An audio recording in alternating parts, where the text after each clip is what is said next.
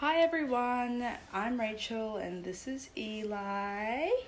We're going to be taking over Glow Dream today. Um, nothing too exciting. We have a few things on today uh, that involve a lot of cleaning. Um, and I also work from home, so I'm just going to be coming to chat with you guys in between emails and phone calls. And Eli will come and say hi as well. He is a bit sick, so let's just see how he goes today. We are just sitting on the bed at the moment. Um, I am pregnant, so I came in here to get some dirty clothes to do some washing, but um, I had to just sit down for a minute because, yeah, I'm too. So we've just popped out for a little walk today. Um, there was nothing in my freezer to cook for dinner, so I just thought I'd just go to the supermarket quickly and grab something. Um, we also went to the cafe and got some iced chai lattes, and now we are on our way home. As I mentioned, I am 25 weeks pregnant, so things are progressively getting slower for me. Um, just little things like walking and picking up stuff around the house, and even playing with Eli. I find I'm getting a lot more tired very quickly. Um, so this morning I was meant to do some cleaning, but I just wanted to step out and get some fresh air because Eli was quite restless. Um, but when I get home, I'll get back into it because we do have an inspection tomorrow. And also, I have a few phone calls I need to do for work. So I'm hoping Eli will be good for me so I can get all that done. So this is Eli's room. He's in here at the moment touching things he shouldn't be touching.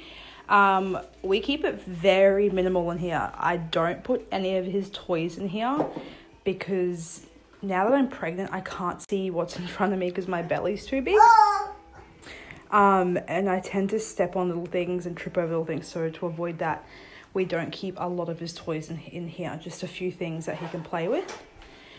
Um, his glow dream is actually up here. It's on the green setting and it is um, got some oils in it at the moment. He does have a runny nose, so I put it on an hour before bedtime so that his room starts to smell a bit nicer and um, it's more comfortable for him to sleep in. No full um, sleep routine. He goes for one nap a day, so he just sort of lets me know when he wants to go to sleep. I just sort of look out for the signals, and he'll go down for usually about two hours um, around midday. But um, yeah. Just put Eli down in his room. It's 12:30. I'm hoping he sleeps for at least 2 hours so I can get some work done.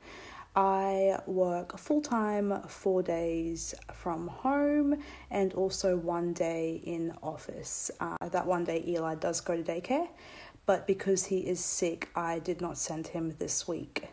Um, I work in recruitment, so I have a lot of emails to catch up on and a lot of phone calls and interviews to do today. I'm hoping I can smash all that out um, while he's asleep. There is a lot of washing that I need to hang out, and I'm hoping to prep dinner while he is napping as well. See how we go fingers crossed. Eli dropped his second nap when he was around 10 months old, um, which was fine. We just sort of let him uh, pick and choose when he wants to sleep. And it kind of works at my um, schedule anyway, working from home, that he has one solid nap during the day.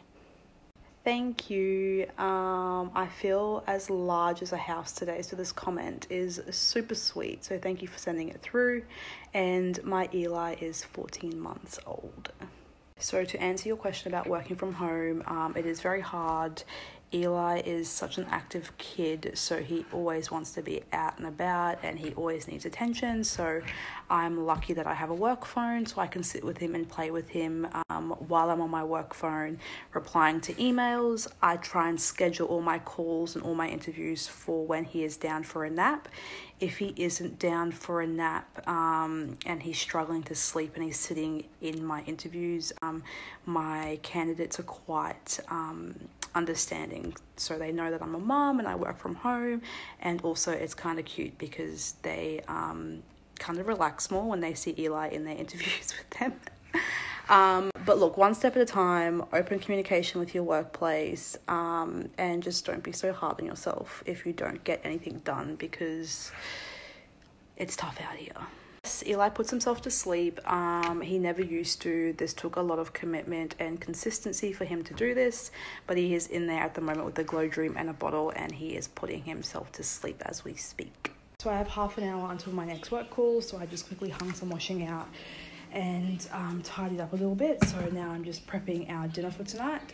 I have just made some breadcrumbs with some parmesan garlic, uh, parsley, salt and pepper, and I'm just breading our chicken.